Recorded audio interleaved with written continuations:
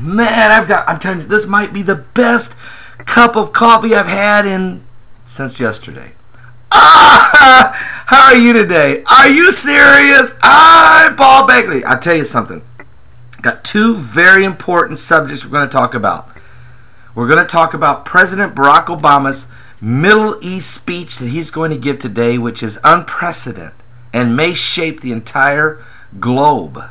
It's it's huge. It has many of us Bible prophecy people taking three steps back, asking. Oh, I'm not even going to ask what we're asking.